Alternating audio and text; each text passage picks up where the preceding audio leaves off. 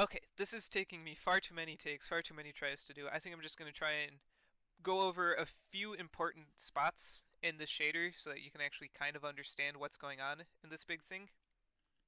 So the biggest, most important part is this rotate function right here. This is going to take a camera input and it's going to give us an output as if this camera vector was rotated and deformed around by the black hole itself. So the two parts we have for this vector rotate is this axis right here, the axis at which we rotate around, and the angle, the amount that we rotate it by. So for the axis, I found just taking a cross product with the normal and the camera vector is able to give us something usable. So just doing the check right here, normal cross the camera vector is going to give us vector that's pointing into the page. And if we rotate, it's going to give us something clockwise, which is what we want. For the angle, it's this large function right here, which has three smaller functions.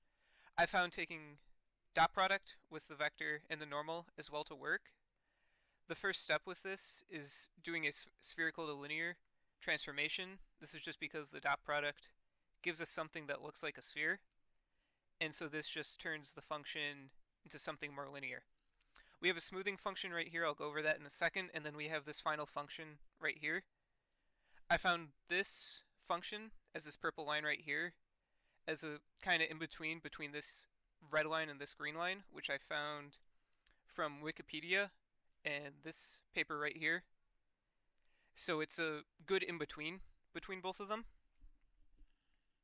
This smoothing function just helps out with a lot of the edges around. If I don't have it, it becomes much more noticeable where the edge of this spherical shader is, and without it, it doesn't look as good. So including it, it becomes a lot harder, nigh on impossible, to actually figure out where the shader starts and the environmental map begins. With both of those, the axis and the angle, you can then get an output for that, use it in the same environmental map, that we used for the actual world shader and then just throw it in to the hodgepodge of all the other shaders that we'll go over in a second. I do have this less than here as well, plugging in with this value right here, back to there. This is the actual black hole itself. You can see I can turn it off right here, and we get what would happen if we didn't see the event horizon, but that doesn't really exist. So just turn off any kind of shader right there. So that right there, this bottom part right here, is where a lot of the weird math starts. It will give you just the black hole, but all this other stuff, this accretion disk, the star, is all up here. And this starts getting into weird stuff. So if you just want a black hole itself, for some quick simulation or whatever, it's just this right here going into your environmental map, some shader, and then sending it to your output. The main eureka moment I had with this entire shader was this vector rotate function right here. The idea I had was that we're going to have some camera coming in at some position, and we're going to get some output of the camera. And what I figured out is that whatever this output position needs to be, these two angles between the position and the camera vector should be the same in order to maintain some symmetries that the black hole should provide. Meaning that I can do the vector rotate on this position to give us the new position that we need to solve for. So using the position as the vector, using the center of the black hole as the center, and then same cross product axes, same angle amount, I'm able to then have a position and a camera angle uh, for which to do more shader garbage with. So the first thing I was able to do with this information was an accretion disk. This takes a lot of steps, but we'll try and go over it each part. So the main idea is once we have a position and a camera vector, we can figure out what value z equals 0 is going to be here. and then we're just left with some place on the xy plane to where we can check if it's within the accretion disk. This first part right here is doing some stuff to solve that z equals 0, where we have rz plus gamma cz equals 0, where r is the position and c is the camera direction. Can find gamma is equal to negative rz over cz, and then I'm able to do the r vector plus gamma c vector. And that let me lets me find where we are on the xy plane once we're done with this direction. After that I'm doing a couple checks, doing a couple subtractions with the center of the black hole as well, doing a final comparison.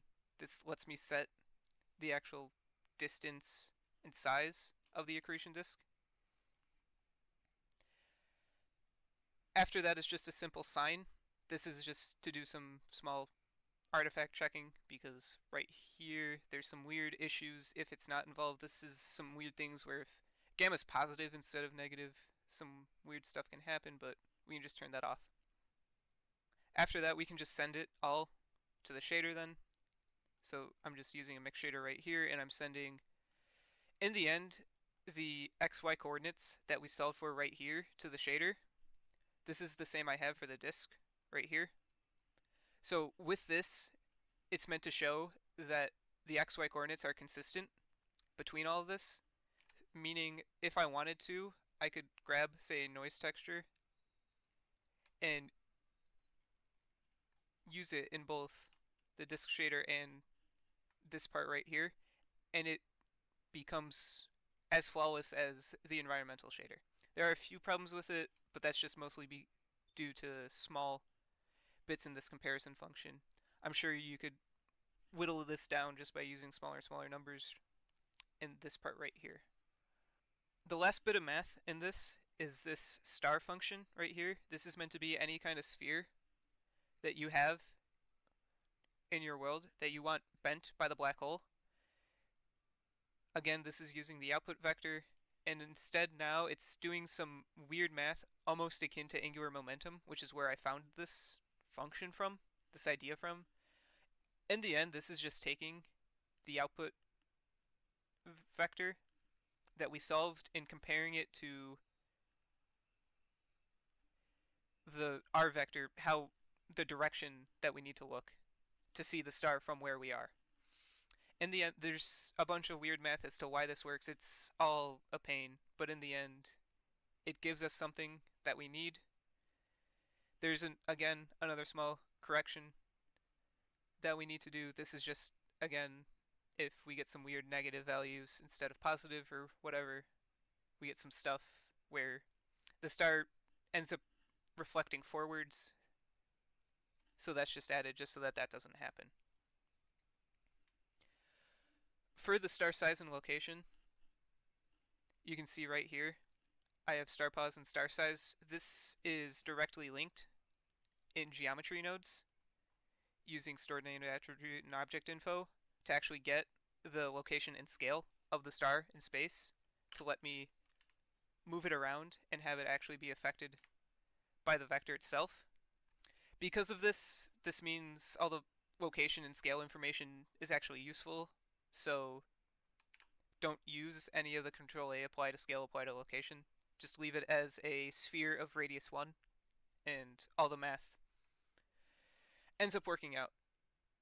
There are some limits to what this shader can do. If anything gets within this major sphere around the black hole itself, stuff starts breaking down.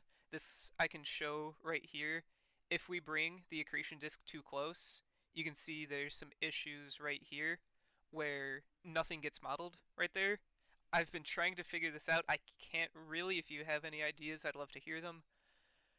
But because of this, that's why I have to leave this disc so far away and why it might not look as good as, say, you bring it close enough. That might be something more akin to what you might expect to see. But it works well enough. The star as well, if you bring that too close to the star, you get some weird pulling that happens, and then when you get too close, it just full on disappears. So that's why I recommend, you know, try and keep everything away from the black hole shader itself, try and do stuff far away, try and keep stuff smaller, but overall this is meant to be something that works in Blender Eevee, so it does far more than I ever expected it to. And to just show off one more thing, I just want to show off the render times as well. So in, in the end, this only takes 0.28 seconds. That's basically real time. I've been able to get this shader to run on an Oculus Rift and it runs perfectly fine as well. So there you go. I'd love to see what anybody else can do with this. So I'll have the I'll have this full shader in the comments somewhere just so that you can reverse engineer it and use it to whatever you want it to do.